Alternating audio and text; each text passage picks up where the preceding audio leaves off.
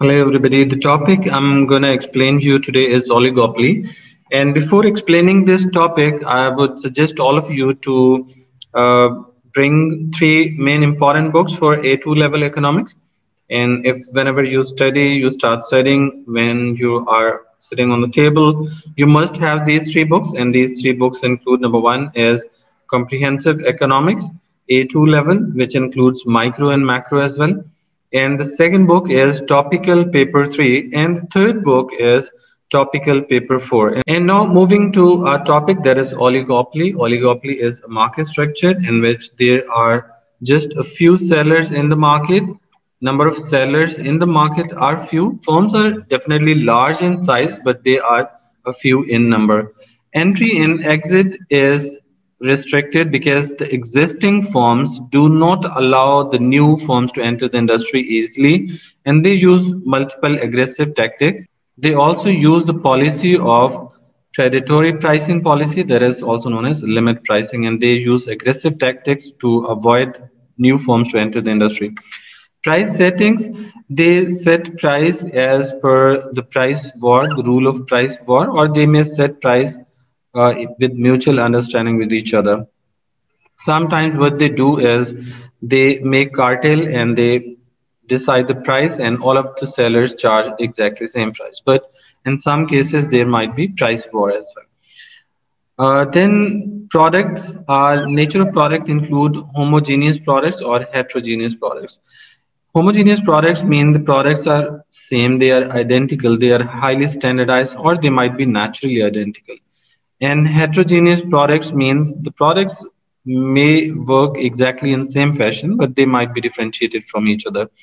For example, in case of uh, Honda and Toyota cars, we can see all of them work in same fashion, but what we can do is we can easily differentiate between them uh, based on the color, shape, or size, etc.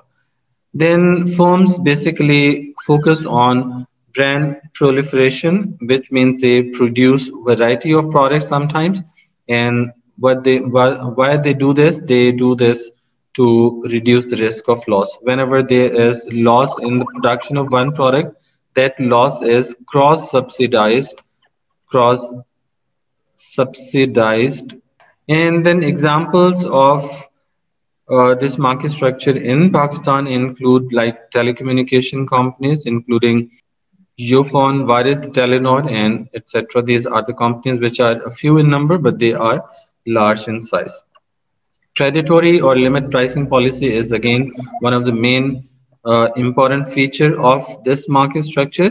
What this pricing policy mean? They lower their prices to avoid entry of new firms in into the market and they also collude with each other means they combine their policies they charge same prices they, they reduce output in the market.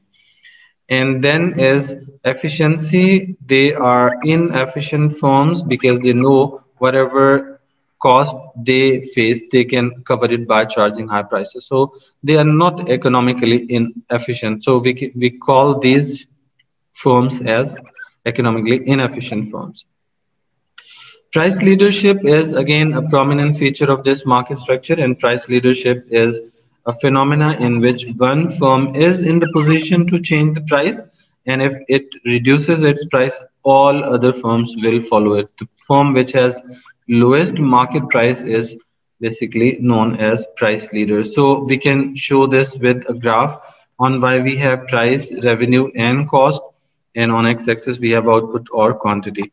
And we can draw an average revenue curve, which is common average revenue curve for, for example, if there are two firms, firm A and B, if there are two firms in the market, firm A and firm B, then average revenue curve is taken as common average revenue curve for both of the firms. We think that both of the firms have exactly same average revenue. But their marginal revenue is different and we can draw two different lines for for them.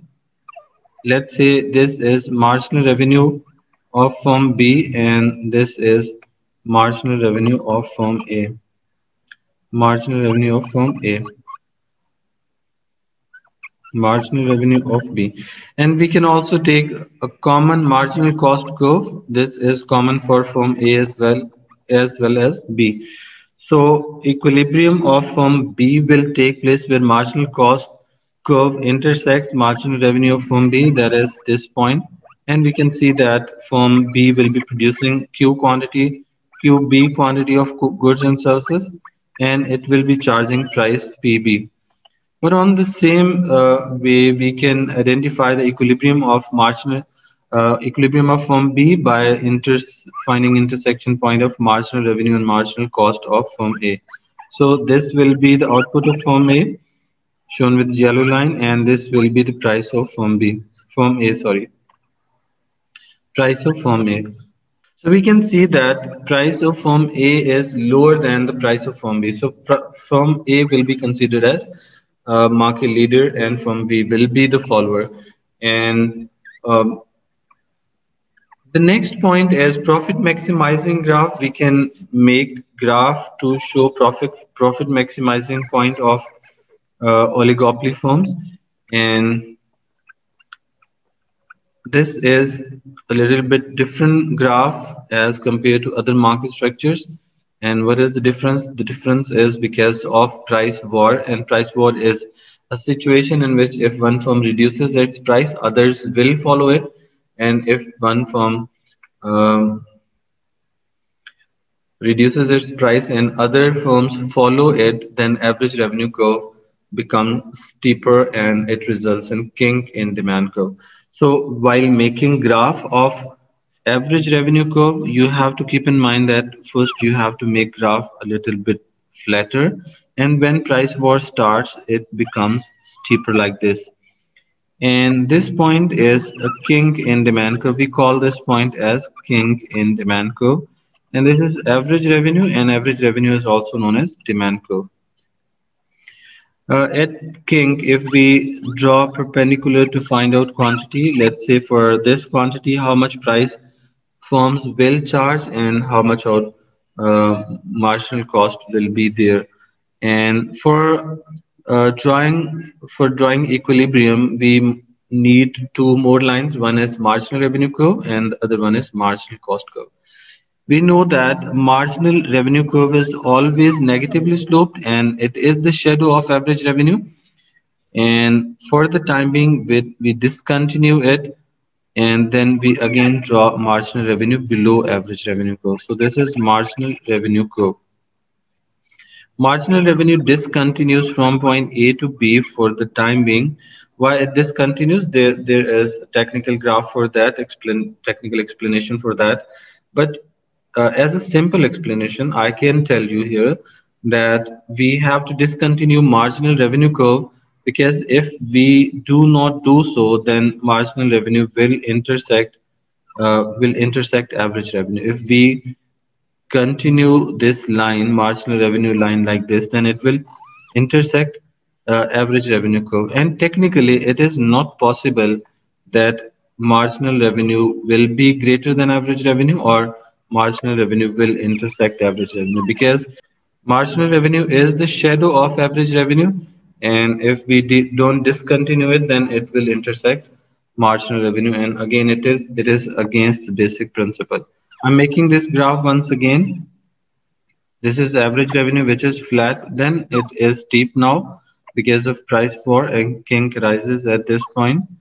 This is average revenue or uh, this is average revenue or demand curve or demand curve and from kink, we can draw a perpendicular showing quantity here. And on y-axis, we have price, revenue, and cost, three variables. And this is quantity produced. Marginal revenue is the shadow of average revenue, and it will discontinue from point A to B. This is, let's say, point A, and this is point B. And now if marginal cost curve intersects marginal revenue curve from any point discontinuous point between A and B, then equilibrium is set, let's say at this point, at point E and quantity you can see is Q and price will remain rigid at P. Similarly, if marginal cost cuts anywhere between point A and B, then you can see quantity will not change and price will also remain the same.